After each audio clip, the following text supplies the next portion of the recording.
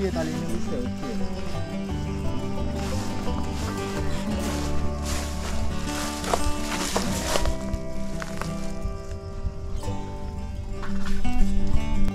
자, 추수의 계절을 상징하는 밤입니다.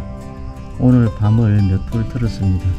지금 열심히 보시게 되면 밤이 이렇게 다 무르익으면 입을 쩍쩍 벌려서 자기가 다 익은 노라 알려줍니다. 우리 인간들도 일이 살면 어떨까 생각을 해봅니다.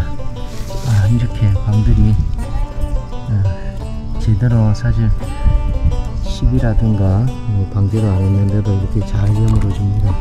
예, 감사합니다. 너무나 감사합니다. 자, 방 까는 법을 알려드리겠습니다.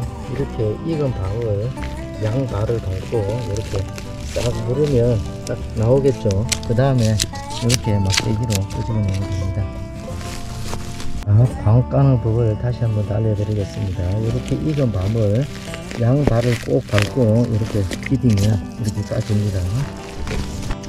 자, 이렇게 밤을 깝니다. 밤을 까지 않고 두었다가 나중에 까도 되지만 그리 많지 않기 때문에 이렇게 양발을 가지고 디디고 막대기로 이렇게 빼내면 되겠습니다. 나술해도 되겠죠.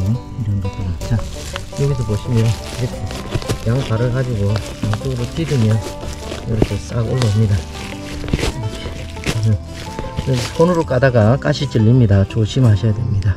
과 같이 별로 표가 안 나는 것을 유심히 보시게 되면 이 아랫부분이 보입니다. 달려있는 아랫부분. 요, 여기, 여기. 요 아, 윗부분. 윗부분을 이렇게 보시게 되면 이렇게 벌어지려고 벌써 되어 있습니다. 그래서 이 부분을 발로 꼭 밟고 양쪽으로 이렇게 che끼면 되겠습니다.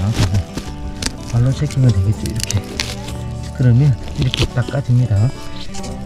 까지지 않은 것은 발로 윗부분을 발로 몇 번을 두 번, 세 번 이렇게 밟아주게 되면 이렇게 나오는데 이걸 손으로 집으려 하지 말고 다 끄집어 내놓고 나서 그 다음에 손으로 집어서요. 왜냐하면 가시에 찔릴 수 있습니다.